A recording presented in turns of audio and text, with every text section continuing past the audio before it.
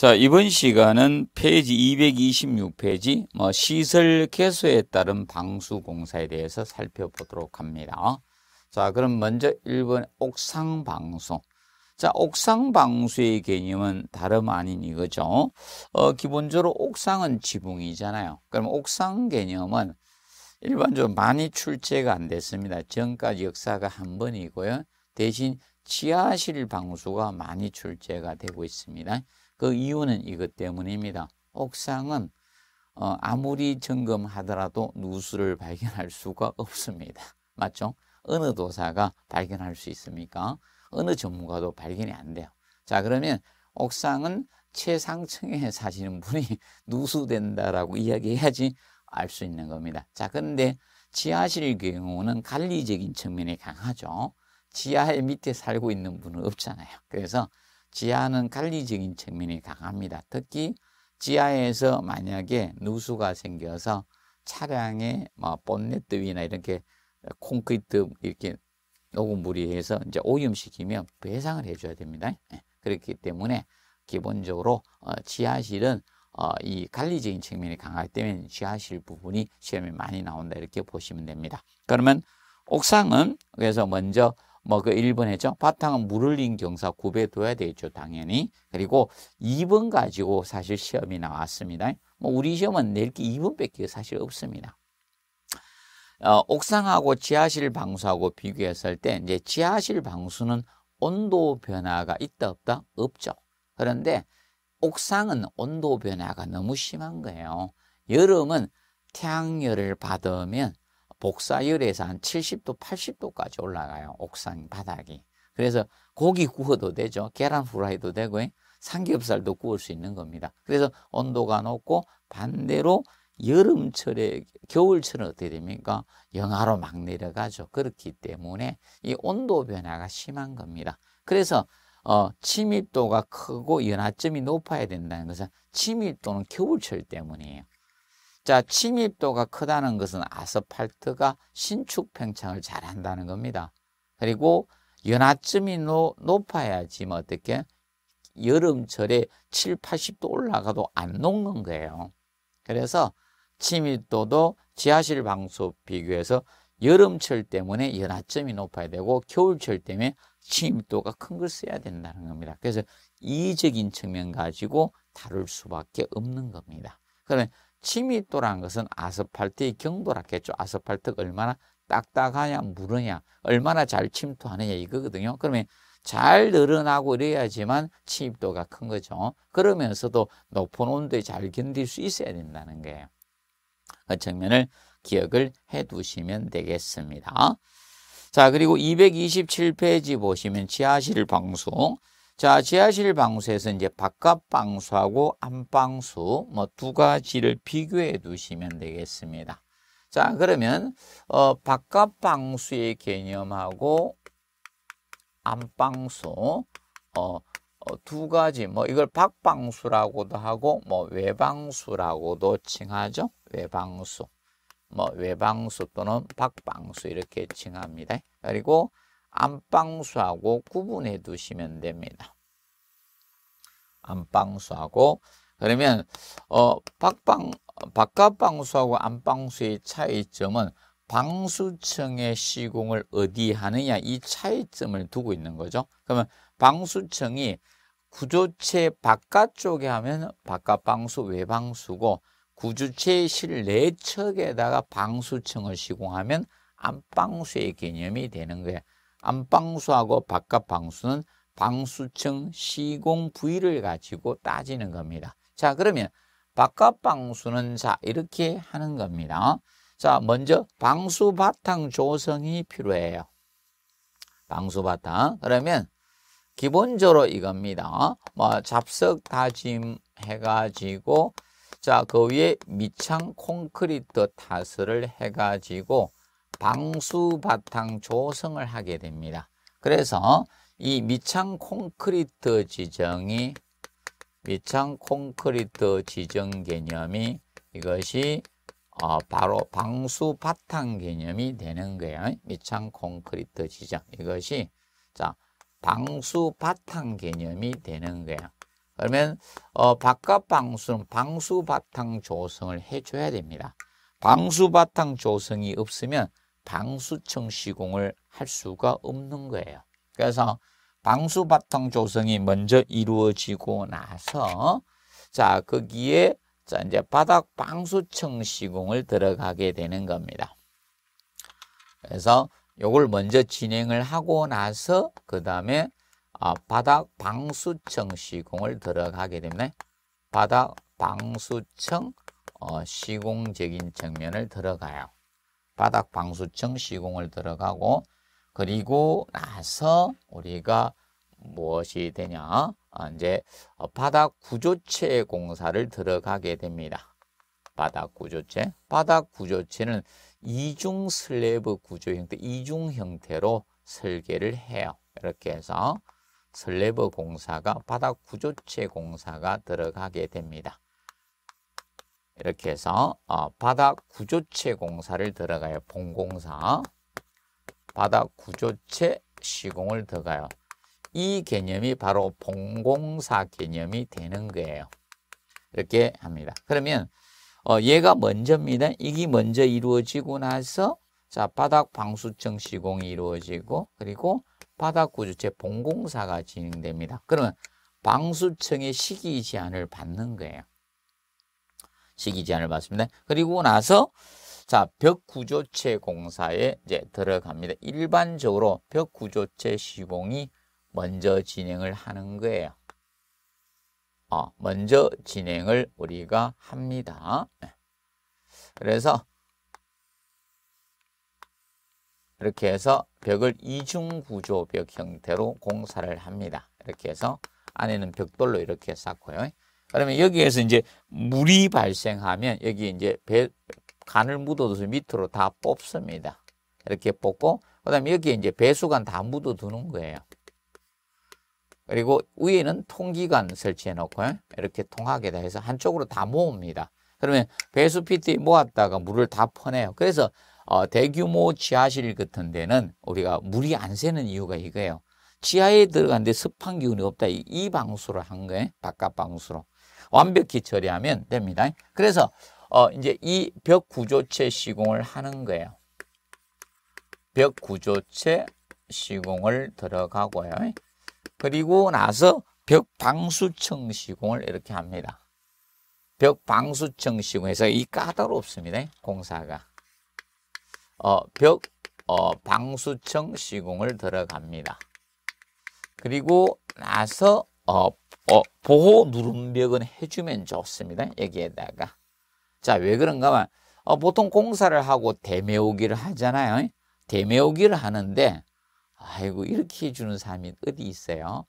아, 모래 같은 걸 아주 부드러운 걸 사보를 한 사실때가 안 해줍니다. 그냥 포크레로 갖다 막 돌하고 흙하고 막 갖다 막 칩니다. 그러면 방수층이 손상될 수 있죠. 그래서 여기에다가 어, 보호 누름벽을 시공해주면 좋습니다. 보호 누름벽을 시공해주면 좋아요. 근데 여기는 보호 누름벽이 별도로 필요 없는 거예요, 바닥은. 그래서 보호 누름벽 시공을 해주면 좋고요. 어, 그래서 저는 될 수 있으면 설계를 해주라고 했습니다. 이론상은 보호 누름 안 해도 무방하다 이렇게 나옵니다. 그런데 해주는 것이 좋습니다. 자, 이것이 자 바깥 방수고 그러면 안방수의 개념은 자 어떻게 하냐? 안방수는 자 구조체의 내측의 방수 공사를 하는 거예요. 자 그러면 지하 구조체가 이렇게 있습니다.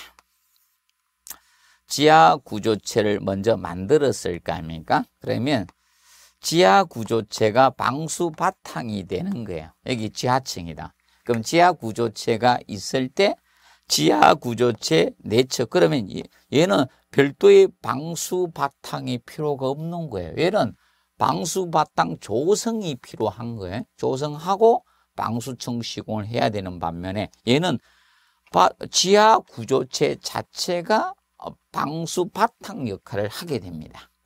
방수 바탕 역할을 합니다. 그렇기 때문에 별도의 방수 바탕 조성이 필요 없는 것이 안방수예요.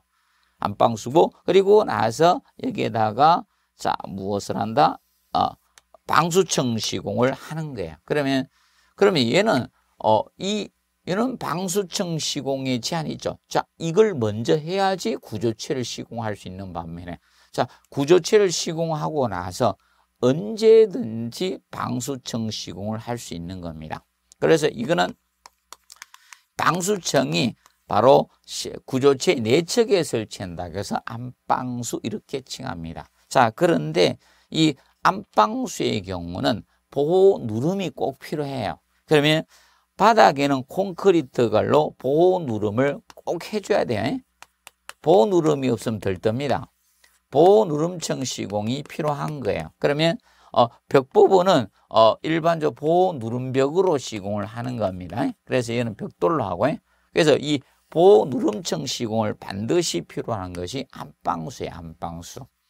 자 그렇기 때문에 자 얘는 수압이 클 때는 못 쓰는 겁니다. 소규모에 쓰는 겁니다. 그래서 어, 비교해서 우리가 공부를 해 두시면 되겠습니다. 그래서 이제 기본적으로 우리가 정리하실까? 그래서 이것이 어 이제 대규모나 수압이 클 때는 이걸 씁니다. 대규모 건물이나 또는 어, 수압이 클 때는 이 방식을 씁니다. 자, 바깥 방수를 씁니다. 그 반면에 이거는 소규모 어, 쪽이나 아, 주 수압이 적을 때 쓰는 것입니다. 수압이 적을 때 쓰는 방식이 안방수가 됩니다. 그러면 당연히 어, 시공은 이게 어렵습니다. 시공이 까다롭습니다. 까다롭다, 어렵습니다. 그러면 이것이 시공이 용이해요. 시공이 용이합니다. 그러면 당연히 까다로운 것이 비용은 어떻게 증가될 수밖에 없는 겁니다. 그래서 이것이 어, 시설비, 설비비는 어, 증가해요. 얘가 시설비가 싼 거예요. 용이하면 쌉니다. 까다로울 때 비싼 겁니다. 그것을 기본적으로 정리를 해 두시면 되겠습니다. 자, 그리고 자, 이 바깥 방수는 어, 방수청의 시, 어, 시기 제한을 받을 수밖에 없죠. 그래서 어, 이 어, 보통 방수청 어, 시공의 시기 제한을 받는 거예요. 시기 제한이 있습니다. 미리 해야 되죠. 제한이 있습니다. 그런데 이거는 언제나 시공할 수가 있겠죠. 그래서 어, 본공사 완료에 나중에 할 수 있게 이것을 그래서 이거는 방수청 어, 시공의 시공의 시기 제한이 없으면 언제든지 가능하다. 제한이 없는 것이 바로 안방수 개념이 되는 겁니다. 그래서 비교해 두시면 되겠습니다. 자 그리고 어, 보수공사가 아, 얘는 어렵죠. 예, 보수공사가 어렵습니다. 그 반면에 자 이거는 보수공사가 용이합니다. 보수공사가 용이한 것이 쉬운 것이 안방수예요. 자 그리고 얘는 거의 어, 측면은 좀 어렵게 하고 이제 밑면은 공사하기 굉장히 힘듭니다. 하부는. 자 예를 들어서 이거죠. 건물 한대 잠깐 보수 공사한다고 잠깐 들어주려고 할 수도 없겠죠. 그래서 어, 까다로운 방수가 된다는 점을 우리가 기억을 해 두시면 되겠습니다. 자, 그리고 이거죠. 얘는 보호 누름층을 어떻게 꼭 시공을 해줘야 돼요. 얘는 안 해도 무방하지만 벽 쪽은 해주는 것이 좋다. 그래서 이야기 드렸어요. 보호 누름은 이것은 어, 반드시 필요하고요. 그런데 얘는 안 해도 무방하지만 어, 벽 쪽은 좀 처리해 주는 것이 좋다라고 이야기해 드렸습니다. 그 점을 기억을 해 두시기 바랍니다. 기본 잡아 두시고 그 다음에 페이지 229페이지 보시면 방석공사가 나오죠. 방석공사. 자, 이 방석공사적인 측면, 이 방석공사는 뭐 우리 시험에 어, 자주 언급됐던 파트죠. 어, 그래서 잘 기억을 해 두시면 됩니다. 방석공사. 그러면 이 방석공사는 기본적으로 알아두실 것이 뭐 자재가 박판 시트계 방석 자재가 있고 신축성 시트계 방석 자재. 뭐 종류는 아스팔트계도 있고 거기 있죠. 시멘트 모르타계도 있는데 어 여러분이 종류가 어느 정도 돼야 되죠. 자, 쉽게 이겁니다. 개수가 기본 몇 개? 네 개 이상은 내야지 시험에 내죠. 우리 시험이 오지선다형이잖아요. 그러면 기본 개수가 몇 개? 네 개 이상은 돼야 됩니다. 자, 그러면 네 개 이상 종류를 가지고 있는 게 박판 시특의 방섭자재하고 신축성 시특의 방섭자재 두 가지잖아요. 그래서 여러분들이 어, 박판 시특에 너무 많네요. 여덟 개네요. 외우기 힘들겠죠? 아, 또 지문도 길잖아요. 그래서 못 외우시겠죠? 그러면 바로 뭐다? 신축성 시특계를 외우시는 거예요. 신축성 시특계를 네 가지를 외우시면 돼요. 자, 이 신축성 시특계를 외우십시오. 신축성 시특계. 이 방섭 자재 이걸 외우시는 거예요. 자, 방섭 자재가 나오는데 자, 이 신축성 시특의 방섭 자재 몇 가지입니까? 네 가지 아닙니까? 이거 외우시는 거예요. 네 가지만.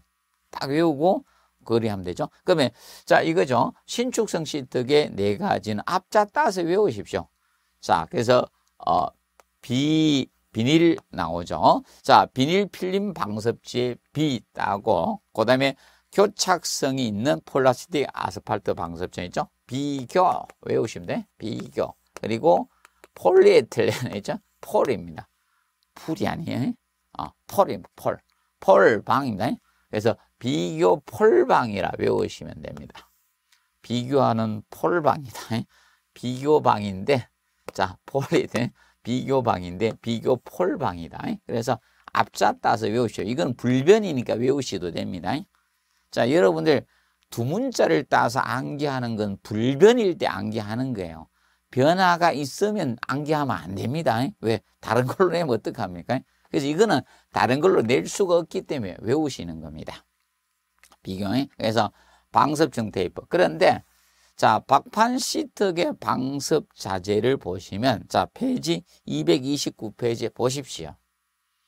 자, 유일하게 2번 어, 거기 나오는 3번만 외우시면 됩니다. 229페이지 3번만 외우시고 펠트나 아스팔트 필름 방섭청 있죠? 이것만 외우시고 나머지는 뒤에 문장이 뭐로 끝난다? 방섭 자재라고 끝나죠. 뒤에 문장이 전부 다 자재예요. 종이 적청 방섭 자재. 맞죠? 2번 적청된 플라스틱 또는 종이 방섭 자재. 다 방섭 자재라고 끝나요. 박판 시트계는 얇은 판의 시트계는 박판 시트계는 명심하세요. 뒤에 방섭 자재라 끝나고 3번에 나오는 펠트 아스팔트 필름 방섭층 요것만 방섭층으로 끝나고 나머지는 자재예요. 그래서 왜 다르게 쓸 수는 없거든요.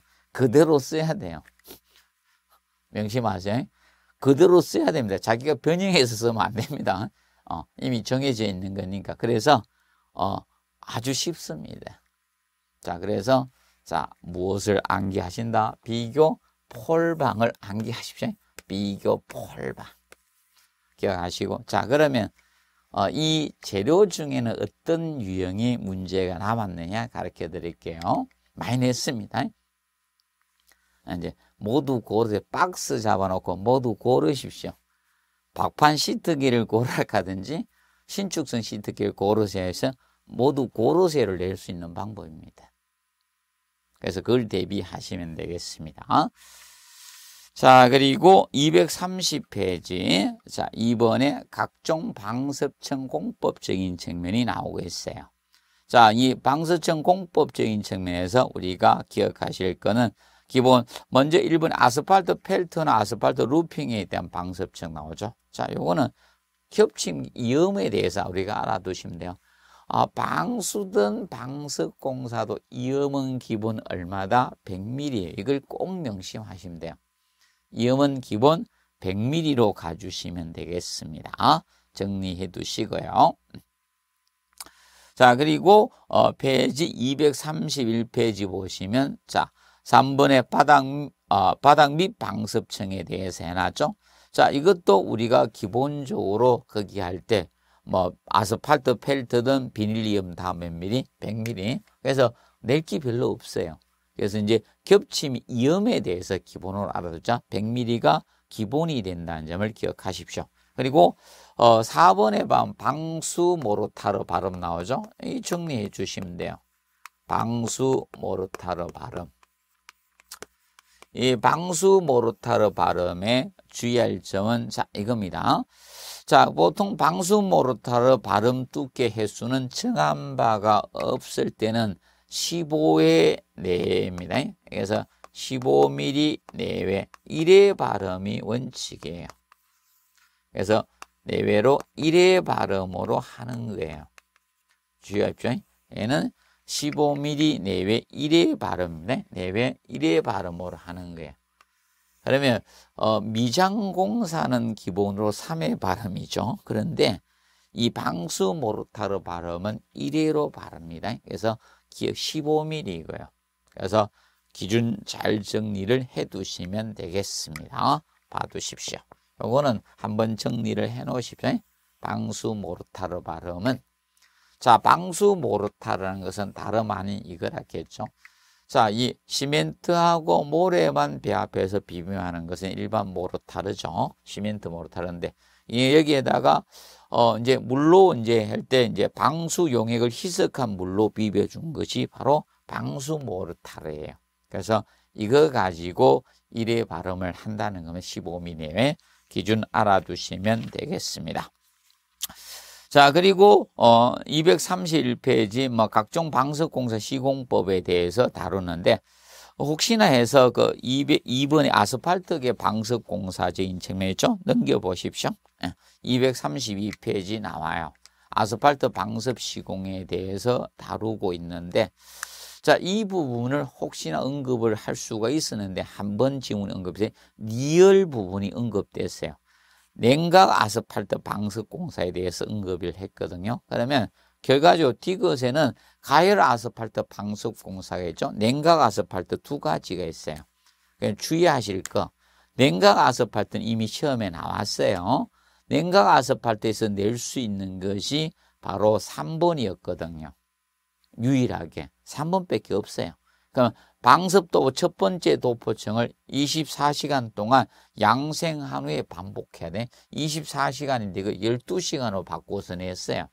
자, 그러면 디귿을 우리가 알아두면 된다. 외벽 표면에 가열 아스팔트 방석 공사를 할 수가 있는데 이때 보통 지표면 아래 구조벽이 그럼 지하 외벽이라는 것이 쉽게 지하벽이 지하벽. 자, 이 지하벽에 대해서 구조벽에 대해서 이 어, 가열 아스팔트 공사를 한다는 거예요. 그러면 명심하십시오. 가열 아스팔트는 지하 벽만 우리가 하고 나머지는 냉각 아스팔트 방석 공사를 한다는 거예요. 지하 구조 벽이 하는데 근데 주의할 점은 이겁니다. 어, 바탕면에 이제 거품이 생길 때는 사용해서는 안 된다는 점을 좀 정리를 해 두시면 되겠습니다. 그 부분을 조금 알아두시기 바랍니다. 정리해 두시고 그리고 233페이지 보면 간접 방수가 나오고 있습니다. 간접 방수. 그러면 간접방수에서 보시면 첫째 뭐가 있다? 이중벽이 있고 방섭청. 그래서 방섭청을 우리가 방석공사에 대해서 살펴본 겁니다. 방섭청. 그러면 벽, 이중벽. 자, 벽과 벽 사이에 공간을 두었는 이중벽은 사실 공간 쌓기죠. 벽을 이중으로 하는 형태예요. 공간을 두어서 하는 것이 이중벽이 되겠죠. 그래서 이 이중벽은 방선 목적으로 우리가 하는 간접 방수에 해당이 된다라고만 기억을 해 두시고요. 간접 방수에 해당이 되는 겁니다. 간접 방수. 자, 그리고 어, 방섭청은 우리가 조금 전에 공부했습니다. 방석공사에 대해서 했어요. 이것도 간접 방수에. 그 방수보다는 사실 떨어질 수밖에 없죠. 그래서 어, 방습공사는 간접 방수로 보겠다는 겁니다. 그리고 이제 dry area 개념이 나와요. dry area. 자, dry area는 자 어떤 개념인가? 우리 시험에 이제 여기 나왔었죠. dry area는 자 이거예요. 어, 지하실의 외부에다가 우리가 어, 공간을 둔 겁니다. 건조 공간을 둔 게 dry area입니다. 그러면 어떤 개념인가 하면 자, 이 개념이에요. 자, 지금 현재 우리가 이렇게 지하실을 이렇게 뒀어요. 지하실에. 자, 여기 이제 창을 뒀겠죠? 그러면 뭐 창 열 수도 있는 것이고 그래서 이 공간이 이게 드라이 에리어입니다. 여기 드라이 에리어 약자 뒤에서 나시네. 그러면 드라이 에리어는 이 지하실 부분에 뭐 태양이 떴을 때는 채광도 할 수 있는 것이고 원래 목적은 근데 지금은 채광이 안 됩니다. 자 채광이나 뭐 한기 또는 통풍 그리고 이런 간접 방수인데 이런 방수나 방섭상 이 앞에다가 지하 외벽 앞부분에 건조 공간을 두는 걸 드라이 에리어라 합니다. 에리어 공간이다 이겁니다. 그러면 지하 층수만큼 얘가 들어갑니다. 그럼 지하 5층이다 5층 깊이만큼 들어가는 거예요. 그래서 이 윗부분을 갖다가 여러분들이 이런 금속으로 이렇게 망으로 이렇게 해놨잖아요. 이렇게 해가지고 이런 식으로 덮어놨습니다. 제발 거기 올라가지 마십시오. 저는 아, 설계자니까 알기 때문에 안 올라갔는데 겁도 없이 거기 막 올라가가지고 어? 한번 난리 났었잖아요. 그 분당인가 추락사다 해가지고 그게 이겁니다. 드라이에리입니다. 자, 그래서 지하실에도 오고 환기해야 될 거 아닙니까? 그럼 건물만 지어놓으면 지하 어떻게 답답해서 탄산가스 증가로 다 죽습니다. 그래서 환기를 해야 돼요. 그래서 이 지하층 깊이까지 이게 싹 들어가는 거예요. 여기를 드라이리어 간접 방수. 그래서 채광이나 환기, 통풍, 방수, 방석 목적으로 지하실 외벽 앞부분에다가 건조 공간, 드라이에리 공간을 두는 거예요. 이것을 드라이에리어라고 한다. 그래서 간접 방수에 해당된다는 점을 기억을 해 두시면 되겠습니다. 그래서 우리 시험에 한번 이거 출제를 했던 겁니다. 그렇게 보시면 되겠습니다. 정리해 두시고요.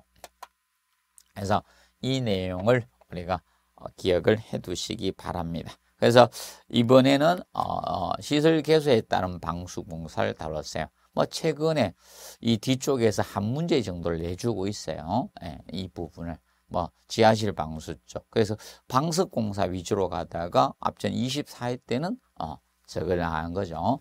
어, 안, 어, 지하실 방수를 안방수 개념을 언급을 했던 겁니다. 그렇게 접근하시면 되고 이번 시간은 여기까지 마무리하도록 하겠습니다. 뭐 다음 시간에는 미장공사 들어가서 잠깐 휴식하고 미장공사 파트 들어가도록 하겠습니다.